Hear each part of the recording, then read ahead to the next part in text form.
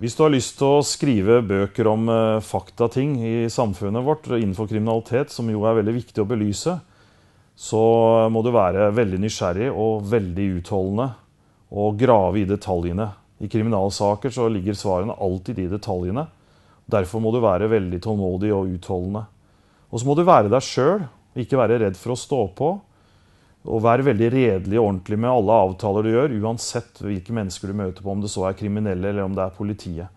Vis andre at eh, de kan stole på deg, så vil du få mye informasjon.